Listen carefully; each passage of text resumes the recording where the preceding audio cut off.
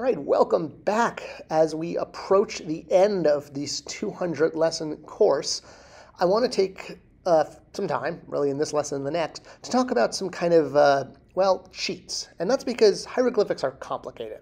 I mean, obviously, there's you know, hundreds and hundreds of them. You've got single sounds, double sounds, but there's a lot of shortcuts. We've talked about them throughout, but I want to kind of summarize some of them and point out the way a lot of these shortcuts are used in unique ways. So one thing we've talked about a lot is there are hundreds and hundreds of determinatives. If it's an animal determinative, that, the word is for that animal.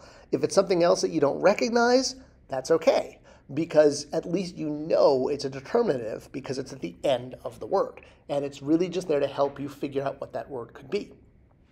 Now, other times, a determinative can be actually part of the overall stela itself.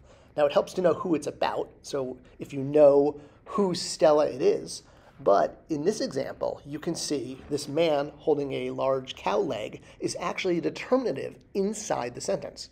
So the sentence, Chapus uh, Nikan uh, Snobi Maharu, translated, the, but it incorporates that man into it. So let me show you how that works. I've written it out here just to make it a little bit larger since it's kind of printed small. All right, and the first thing we're going to want to do, like with anything, is identify how are we reading. Is it right to left or left to right? And we can do this usually by identifying the animal heads. Unfortunately, we don't have any animal heads in this case. But we do have these glyphs here that help guide us, the, the foot and the bolt of cloth. So this tells us we are reading into the foot, so it's going to be right to left reading, not left to right.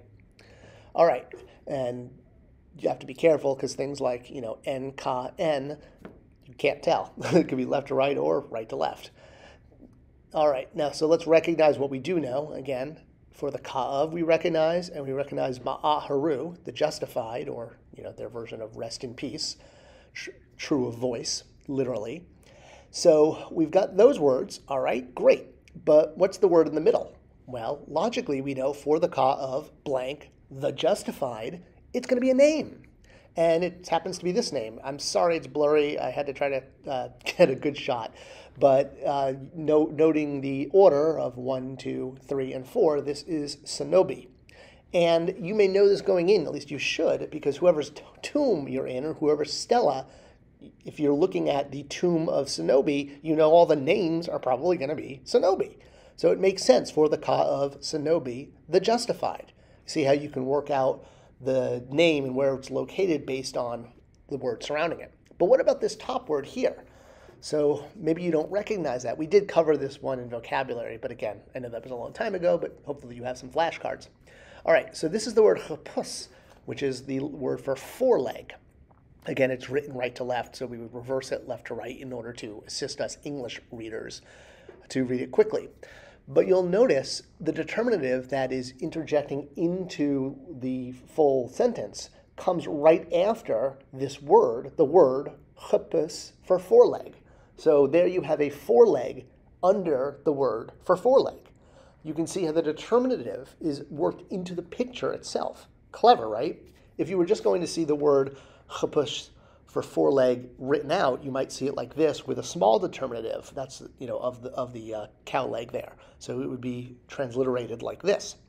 But by actually incorporating a man, Sonobi, holding the ox leg, well, now you've incorporated the determinative into the stela itself and overall into the beauty of the piece, of the full wall. So now you really are seeing how the images are actually part of the sentence itself. The image here is a determinative that tells you the vocabulary. Pretty cool, huh? Let's look at another quick example. So here's another Stela, and what are these guys doing? Well, hopefully, uh, with a little uh, help and taking the uh, vocabulary, which is going, or the, the words are going, you, you can figure out based on purely the visual what this says, whether or not you know the vocabulary. So, again, noting whether it's left to right or right to left. In this case, it is a left to right read. So we'll write it out. So we have saput, uh, shwa.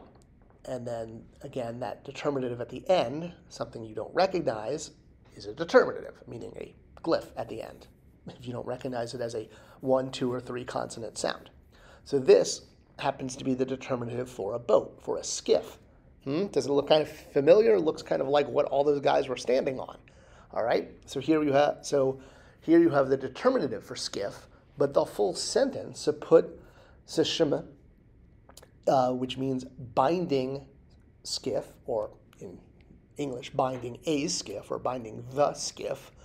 But looking at the picture, there you go. What are they doing? They're binding a skiff and you can see the skiff itself that they're on looks just like the determinative of the skiff. There again, another way the image reflects the words. You recall what we did about 10 lessons back with Sonobe spearing the fish and throwing at the birds? Again, looking at what there physically is a picture of, you see a man spearing fish. And knowing this is Sonobe's tomb, if that's where you happen to be standing, well, there you go. It's Sonobe spearing fish. And here he is throwing at birds. Same thing. Sonobe, you're standing in his tomb. That's how you know the name. And then you can translate the rest of the sentence. So, with hundreds and hundreds of determinatives out there, you should absolutely also consider how much the actual phrase, the, the stela, the image on the stela, the art, is actually part of the full understanding, not just the words. All right, this was a really important one. Thanks for sticking in with Doodling with Purpose. We got two more lessons to go and some more hints to come. We'll see you next week, and congratulations on making it so far. See you next time.